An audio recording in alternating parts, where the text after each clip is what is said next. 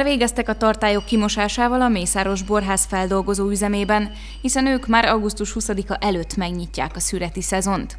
A korán érő írsai olivért szedik le először, többnyire gépi erővel. A borász azt mondja, jó szezonra számítanak. Meglátjuk, hogy milyen termés várható.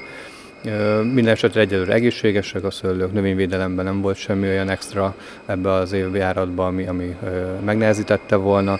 Egy nagyon kevés jégeső az volt egy-egy területünkön, de azt is szépen kiheverte a szőlő, úgyhogy mindenképp egészséges, jó minőségű szőlőt fogunk tudni szüretelni. Mészáros Péter hozzátette, ilyenkor átmossák és kifertőtlenítik a tartályokat. Átnézik a gépeket, leellenőrzik és kitisztítják a préseket és a szivattyúkat, hogy minden rendben legyen, amikor elindul a szüret. Ezek már úgy kezdenek színesedni, de azért még sok van neki vissza. Fekete Mihály a Cabernet szőlőjét mutatja stábunknak, aminek még közel két hónapot kint kell tölteni a szabadban.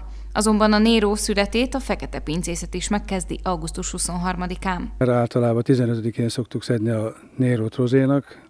Hát most a természeti kicsit meg van kés, hogy a, ez a hűvös tavasz három hetet csúsztatott a természeten, de abból most ezek a hőségnapok már lefaragtak, úgyhogy egy olyan 7-10 nap az a mostani csúszás. A borászak kézi szüretelést tartja jobbnak, azt mondja, drágább ugyan a jó munkaerőt megfizetni, de a bor minősége sokkal jobb lesz ezáltal.